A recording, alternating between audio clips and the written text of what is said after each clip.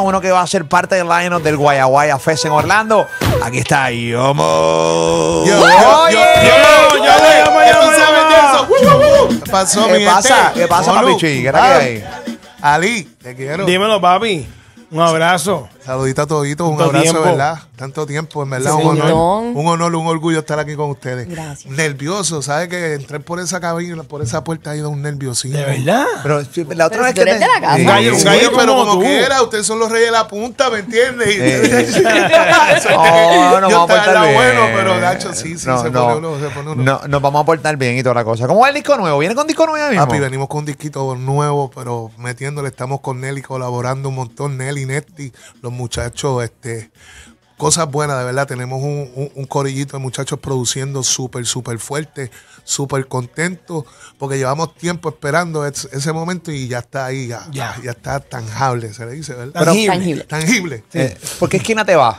¿Ah? ¿Por qué esquina te vas? lo que es Yomo, perreo, perreo, pero tenemos, porque esto es un EP, esto en sí es un preámbulo a lo que viene de disco, ¿me entiendes? Tenemos tantas canciones que decidimos sacar como 12, 8, 8 temitas y es perreo, perreo, lo que viene es perreo. Pero full perreo. o sea, Perreo no, full, no te vas a poner a inventarlo. No, ¿ves? La esencia un- de Yomo. Hay unas cositas ahí, siempre Un tú poco- sabes que un Yomo, poco de invento sí, siempre pero, pero hay. perreo lo que viene. Perreo duro, perreo duro. Vas a estar con nosotros eh, en el Guayaguay Orlando, eh, obviamente con la familia de SBS, eh, que vas para allá este, este fin de semana, el sábado 30 de abril, en el Central Florida Fairground en Orlando. O sea, aquí en el Guayaguay, Arcángel, Cocoyuela, Joey Randy, Tito el Bambino, Mickey Woods, eh, Alexis Fido, Amarion Bry, eh, Noriel, Drismali, eh, Ágata. O sea, vas a. Vas Sí, a- mano. ahí un line-up Ah. eh, pesado. Qué duro. Yo siempre he formado parte de la familia SBS y, y, eso, y esos eventos. Y para mí es un honor que me inviten a este también, ya que es en Orlando. Hace mucho tiempo no me presento masivo así en Orlando. Digo, estuvimos con Farruko en el concierto, fuimos de invitados, pero, pero no es lo mismo invitado que tú hacer tu propio show. So, contento, ansioso de estar ahí para romper la tarima ya.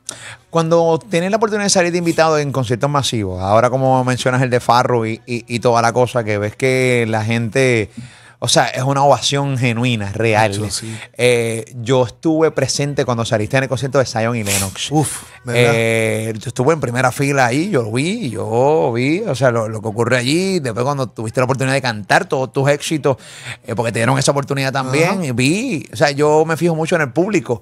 eh, y también vi parte, ¿no? De, de lo que estuviste haciendo también en el concert de Farru. Eh, cuando ves todo eso, o sea, preguntarte cómo te sientes, pues realmente es predecible la respuesta, se siente bien. La pregunta es, después de todo lo que tú has vivido, ¿es todavía ver este, esta efusividad de la gente te sorprende? Oye, yo digo que el sueño de ser artista ya no es el sueño mío nada más. El sueño de, de Yomo no es, no es de Berto. La gente sueña con ver a Yomo allá arriba en esos escenarios y la gente se lo vive. Eso para mí es un orgullo, ¿me entiendes? Me enaltece. ¿Por qué? Tú sabes que nosotros venimos caídas, nos hemos levantado, las situaciones, pero, pero el cariño del público y puertorriqueños que son bien exigentes, tú lo sabes, Ali, que aquí si tú no le gusta a la gente y cantar esos temas que, que son del 2005, 2008 con, con, con- con- con otra gente, tú sabes que, que hay muchos invitados también, y poder, poder romper como, como rompimos, imagínate, bro. Dan- me dan ganas de... No, pues imagínate tú, hay canciones que de repente los chamacos que están ahí, pues eran niños cuando Eso eh, fueron éxitos, que no las escuchaban. O sea, que simplemente las aprenden porque pues, la canción trascendió. Eso es otra. O sea, eh, hay canciones tuyas que trascendieron. Sí, mano, hay canciones mías que los papás las ponían como lo que nos ponían a los combos. Yo me levanto por la mañana. Eso es lo que creo yo y, y- y ha trascendido varias generaciones. Otros días estábamos hablando de eso y, y ese público que tenía de 15 a 25 años cuando yo salí, ahora es el público que está, que tiene hijos, ¿me entiendes? So, los otros días estuvimos en el Boat Show y fue un éxito también. Oye, de verdad que, que, que hacer unos éxitos, se lo tengo que agradecer a Dios y al equipo de trabajo que estamos en esos momentos, pero sí, me siento inmortal gracias a eso. ¿verdad? Inmortal te sientes. Inmortal, porque aunque me vaya, esos temas están ahí, descaradas al carto el peso cuando tú escuchas el tum, tum, Exacto. tum, o cuando escuchas tum, ah, hacho, tú, tú, tú te lo vives, hermano, se te va, se te, tú, tú has estado, tú, tú, tú No, no, sabes yo cómo sé. se ve para No, los sí, sí, Sí, no, yo sé, yo sé. Bueno, yo me pompeo también y, y toda la cosa y uno se emociona de cierta manera y también como que...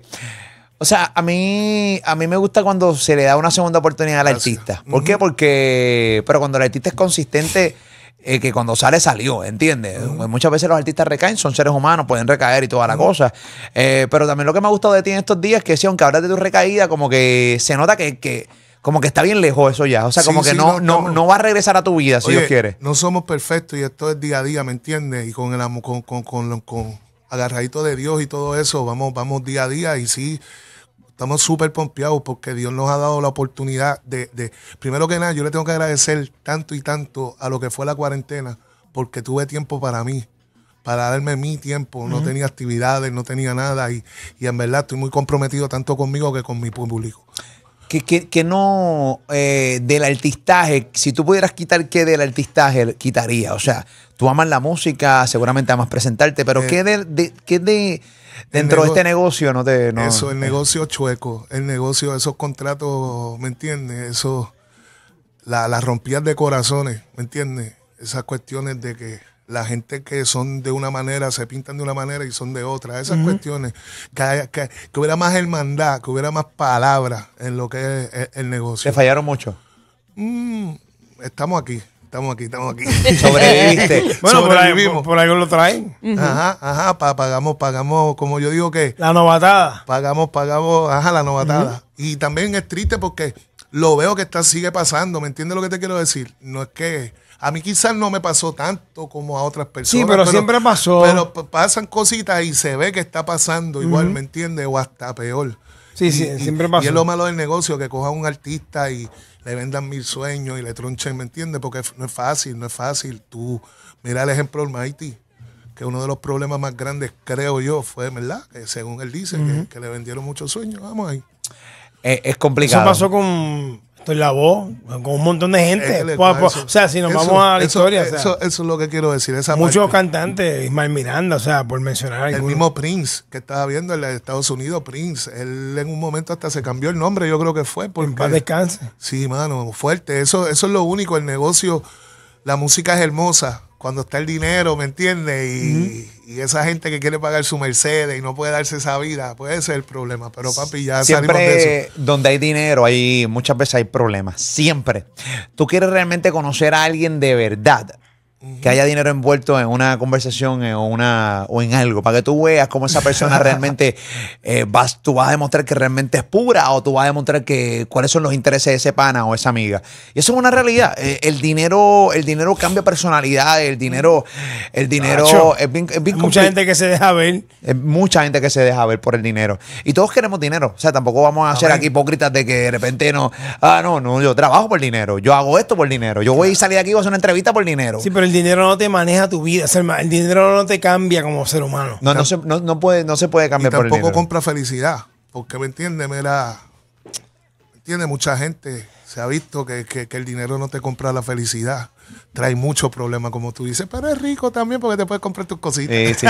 Pero ven acá, cuando te comprabas tus cositas, cuando tú estabas en tu pic de, de- de dinero, ven acá, yo, obviamente la última vez me contestaste a otro nivel. Eh, aquella contestación se fue viral porque yo te pregunto, mira, cuando tú eras millonario, cuando- ¿pero quién te dijo que yo no soy millonario? Roncó, roncó, roncó, roncó y fue fuerte, pero estuvo chévere.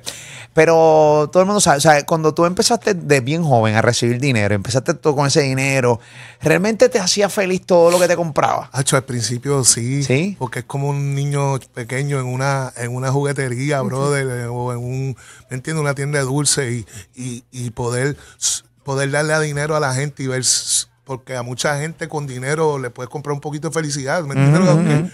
¿Me entiendes? Los hace felices eso, poder, poder darle a la gente, sí, sí, mano, al principio, pacho, entonces...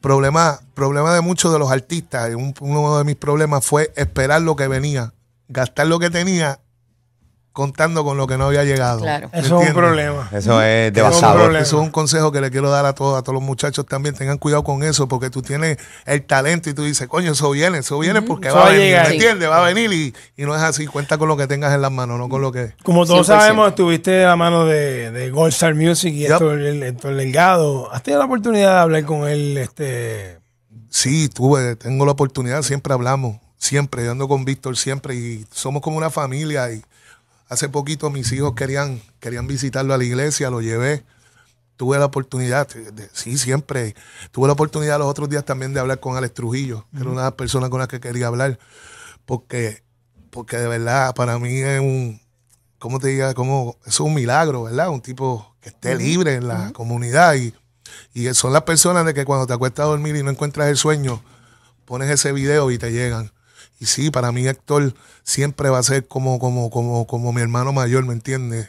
Una persona que, que, que, que me aconsejó mucho, me ayudó mucho y para mí su, su palabra vale mucho. Eh, sí, lo de Alex. Nosotros tuvimos la oportunidad, la oportunidad de entrevistar a Alex Trujillo y realmente ¿Verdad? eh, ver el Alex Trujillo de antes y ver el de hoy para mí es más que impresionante. La gente puede decir lo que quiera, siempre hay gente que le va a creer, hay gente que no le va a creer. Yo lo- siempre lo que digo es que cada ser humano es un mundo aparte y si él se siente bien, no, porque la realidad es que su historia es para pelo. Claro. Papi, el tipo era. Lo regenteaba duro. Mira, Sí, una hiteaba. Una vez yo Sí. estaba en una tarima y, Uy. Y me dicen, ven acá que quieren hablar contigo. Y estaba él, para cuando era uno de los más buscados. Mm. Y para ese tiempo no había mucho celular. Y en una parte la canción de Voy subiendo, yo soy el mariante que todo me persigue mucho. Vienen y, y antes que, su- que saliera la canción dice, mira, todo el mundo que bajen los celulares que se va a trepar Ale. Ay, Dios mío. Ay, Ay, Dios mío. madre, qué horrible. Estaba en un caserío, ese hombre me ha hinchado el brazo en pleno concierto, en caserío. Ok. Esto es lo mío, mío. Entonces lo Él fue- siendo el más buscado en ese Sí, momento. mano, me echa el brazo encima, imagínate. Y entonces los fuegos artificiales no estaban al frente, estaban atrás. Ok. De repente empiezan a sonar aquellos chicharrazos allá atrás. Me tiro, hago un show. Me quedo aquí como hombre. Me tiro y hago un Te quedaste como hombre, te quedaste como hombre. Papi, sí, pero tú sabes que después. Sí, sí, sí, sí, sí, La mujer, mira, y esa huella. El muñeco marrón saliendo por ahí Hacho, atrás. fuerte, fuerte, verdad, fuerte, fuerte. Qué terrible, qué terrible, qué terrible. fuerte, no, no, fuerte. Y era una energía porque acuérdate, estás al lado del más buscado. Que tú estás supuesta para el show y llamar a los guardias en esos momentos, Bueno, ¿verdad? Sí, no, ¿Verdad que devastador, sí? devastador. Hacho, no, no, y- Pero eso no se puede hacer hoy. O sea, un tipo como Alex Trujillo eh, 2020, No, rifando, 2022. rifándose así. No, no, no. Mira, baje los celulares, papi. Se va a virar Eso en no Instagram por el existe. momento. A virar. los celulares, eh, ¿no? por TikTok está el pana y ahí está, está, está todo el mundo por allí buscando. Eso es así. ¿Entiendes? Esa es la que hay. Y no, y no son regalos lo que van a estar buscando ahí después. Qué terrible. Mira, papi, yo siempre, tú sabes que a mí siempre nos encanta, no, a nosotros no siempre nos encanta hablar contigo. Qué bueno que estás bien, qué bueno que vas a estar en esta presentación este próximo eh, 30 de abril, que eso va a ser este sábado en el nada más y nada menos que en el Centro de Florida Fairground de Orlando. Estamos hablando del Guaya Guaya Fest. Ahí tú vas a estar ahí para que invite al corillo que vaya para allá este sábado. A todo el mundo que se cita este sábado, vamos a estar por ahí ya como a las seis y media de la noche, de la tarde. So, vete, vete tempranito y vas a disfrutar de un montón de artistas que van a romper la tarima, en especial este servidor. Si no quieres perderte una parte de la historia del reggaetón bien grande, pues la tesita ahí. Esa es la que hay en el centro de Florida, Fairground Orlando. Los puertos en oltickets.com, oltickets.com, oltickets.com. Va a estar el Guaya Guaya Fest en Orlando. Yomo, te queremos, papi. Un abrazo, papi. Yomo, abrazo. Esa es la que hay.